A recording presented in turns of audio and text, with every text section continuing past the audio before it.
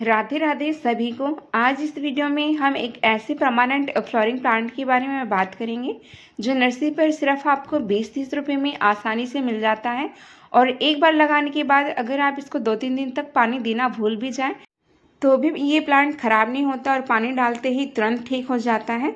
बस थोड़ा सा ये मुरझा सा जाता है अगर आप इसको तीन चार दिन तक पानी ना डालें और अगर आप इसकी थोड़ी सी केयर कर लें तो ये प्लांट आठ दस साल तक आसानी से चल जाता है और साथ ही में आपको इसकी कटिंग भी नहीं लगानी पड़ेगी और फ्री में देखिए इस तरीके से आपको तैयार प्लांट मिल जाते हैं क्योंकि साइड से इसके बेबी प्लांट निकलते रहते हैं, जिससे आपके पास एक हफ़्ते के अंदर ही एक नया प्लांट तैयार हो जाता है, जिसमें फूल आने लगते हैं और कुछ बेबी प्लांट तो ऐसे होते हैं। जिसमें पहले से ही बर्ड्स बनी होती हैं और उसमें अगले दिन से ही फ्लोरिंग स्टार्ट हो जाती है। तो, तो ये देखिए मैंने आपको बेबी प्लांट निकाल के दिखाया है। देख सकते हैं आप ये जो मोटी मोटी ब्राउन कलर की आपको नीचे नज़र आ रही है ये मदर प्लांट से ही निकलते हैं साइड से बेबी प्लांट। और आपको जस्ट इनको हल्का सा खींचना होता है। तो चलिए जानते हैं कि हमें इस प्लांट की केयर कैसे करनी है कि ये सालों साल चलता रहे और साथ में बहुत अच्छी ब्लूमिंग करता रहे। इस पौधे को आमतौर पर मैक्सिकन पिटूनिया के नाम से जाना जाता है और इसके और भी कई सारे नाम हैं, जैसे कि रुएलिया और मैक्सिकन ब्लूबेल और इसके जो फ्लावर्स होते हैं, वो कुछ घंटी के शेप में होते हैं, जैसे कि आप देख सकते हैं। और एक ही प्लांट पे अगर आप इसकी थोड़ी सी पिंचिंग कर दें तो पचास से ज़्यादा फ्लावर आते हैं। और इसकी दो वैरायटी आती हैं, एक देसी और एक हाइब्रिड। ये आपके सामने अभी जो ये पिंक और वाइट वाली आप देख रहे हैं, ये हाइब्रिड वैरायटी है। और जो पीछे मैंने ब्लू दिखाई थी, वो उसकी देसी वैरायटी थी। हाइब्रिड वैरायटी साइज़ में यानी कि लंबाई में थोड़ा सा कम जाती है, जैसे कि आप देख सकते हैं। इनका जो साइज़ है, वो थोड़ा सा कम है। पर इसमें जो फ्लावर्स आते हैं, बहुत सारे आते हैं एक ही साथ, जैसे कि आप देख सकते हैं। और ये प्लांट इस पॉट में मैंने ज़्यादा दिन पहले नहीं लगाया।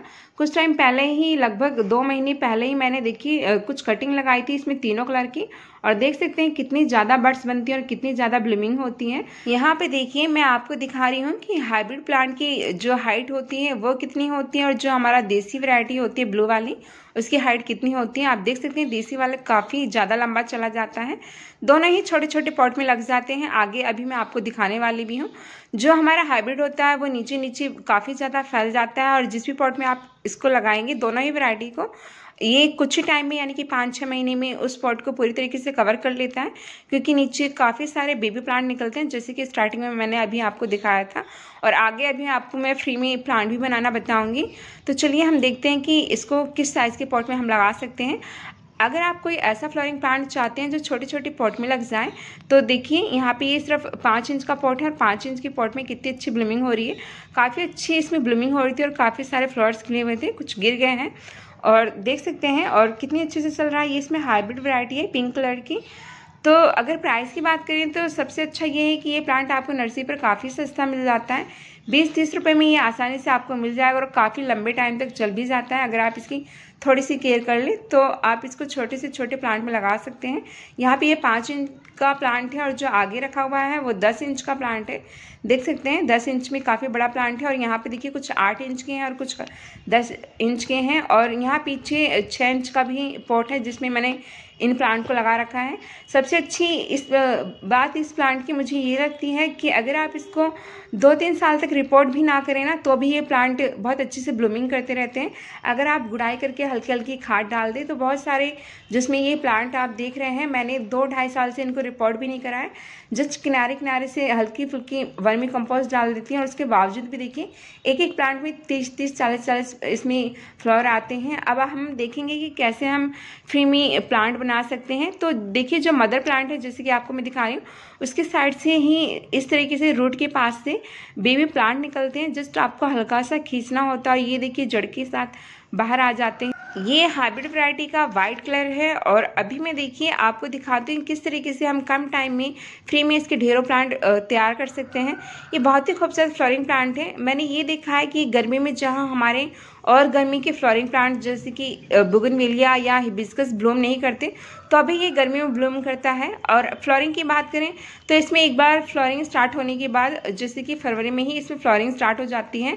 और लगभग दिसंबर के लास्ट तक होती रहती है। इवन मेरे टेरेस पे तो इसमें पूरे साल ब्लूमिंग होती रहती है। सर्दियों में भी इसमें फूल आते रहते हैं, बस फूलों का साइज़ थोड़ा सा छोटा हो जाता है।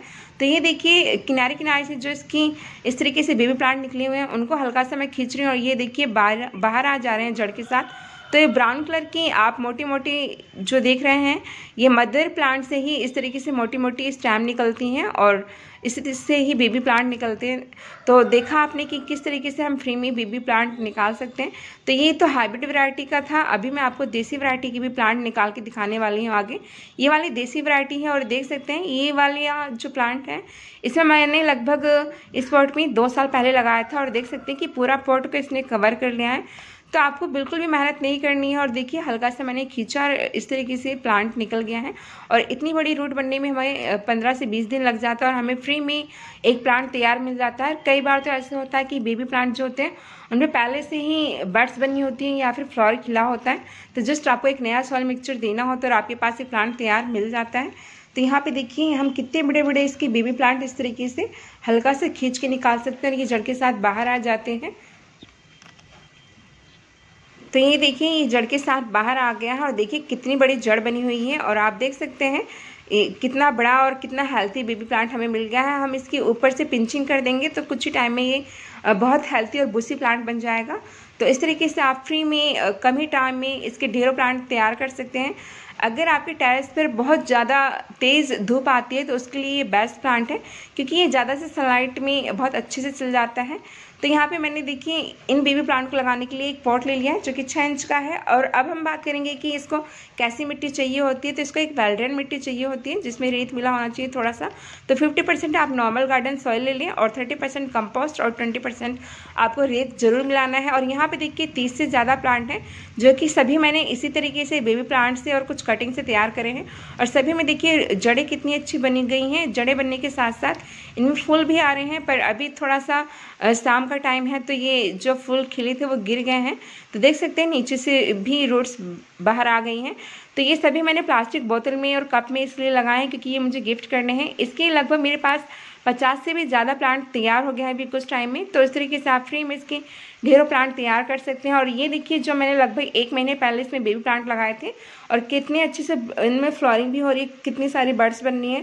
तो कहने का मतलब ये एक ऐसा प्लांट है, जो सस्ता तो मिलता है, बीस तीस रुपये में, साथ ही में आपको इसकी कटिंग भी नहीं लगानी पड़ेगी। फ्री में बेबी प्लांट भी देता है, और इसमें साथ में बीज भी बनते हैं, बीज भी गिर गिर के प्लांट उगते रहते हैं। और अगर आप दो तीन दिन तक पानी नहीं डाल रहे हैं या फिर कहीं बाहर जाते हैं तो आने के बाद अगर आप पानी डालेंगे तो ये प्लांट ठीक हो जाता है। और ना ही इस प्लांट को ज़्यादा फर्टिलाइज़र की ज़रूरत होती है। मैं तो बहुत कम फर्टिलाइज़र डालती हूँ। मैं जब इसकी मट्टी तैयार करती हूँ, तब भी वर्मी कंपोस्ट डालती हूँ, बीस या तीस परसेंट। उसके बाद बस एक साल के अंदर मैं किनारे किनारे से हल्की सी गुड़ाई करके, थोड़ा बहुत कंपोस्ट डाल देती हूँ, चाहे गोबर की खाद या वर्मी कंपोस्ट या किचन वेस्ट पर मैं हर दूसरे या तीसरे महीने इसमें जो लिक्विड फर्टिलाइज़र होता है, वो डालती रहती हूँ। तो देख सकते हैं आप कितनी अच्छी ब्लूमिंग हो रही है, जिससे मैंने पीछे आपको दिखाया। तो अब चलिए मैं बेबी प्लांट यहाँ इस पॉट में इनको लगा ले रही हूँ। तो इस तरीके से ये जो सॉइल मिक्सचर मैंने तैयार करा था, इसी में मैं लगा ले रही हूँ। क्योंकि इसमें पानी नहीं रुकता, ये जो हम सैंड का सॉइल मिक्सचर बनाते हैं। और मैं जब भी बारिश होती हूँ, उस टाइम जो भी सॉइल मिक्सचर बनाती हूँ, उनमें हमेशा वर्मी कंपोस्ट डालती हूँ। क्योंकि वर्मी कंपोस्ट में कभी भी जो बारिश के टाइम या किसी भी टाइम फंगस लगने के चांसेस बहुत कम होते हैं तो इसलिए मैं वर्मी कंपोस्ट लगाना, डालना प्रेफर प्रीफर करती हूँ। तो अभी मैंने हल्की सी और मिट्टी डाल ली, क्योंकि पहले मैंने देसी वैरायटी की बेबी प्लांट लगाए थे तो वो साइज़ में थोड़े लंबे थे, और ये हाइब्रिड वैरायटी की बेबी प्लांट लगा रही हूँ, जो कि साइड साइज़ में थोड़ा सा छोटे हैं। इस तरीके से देखिए, सभी बेबी प्लांट को मैंने लगा दिया है, और लगाने के बाद अब मैं इसमें पानी डाल लूँगी। पानी आपको बहुत ज़्यादा नहीं डालना, क्योंकि वैसे भी अभी बारिश हो रही है तो आप हल्के हल्के इसमें पानी डाल दें। और ये प्लांट आपको रोड साइड वगैरह पे देखने को आसानी से मिल जाएगा। रोड से भी आप इसकी कटिंग या इस टाइम आपको बीज बने हुए भी देख मिल जाएँगे, क्योंकि इसमें इस टाइम बहुत सारे सीड्स बन रहे हैं तो आप सीड भी कलेक्ट करके ला सकते हैं। और उनको हल्का सा मिट्टी पे फेंक देंगे तो इसकी सीड पाँच छः दिन में जनरेट हो जाते हैं।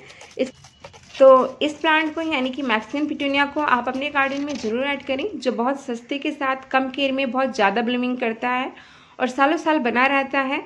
तो चलिए मिलते हैं नेक्स्ट वीडियो में।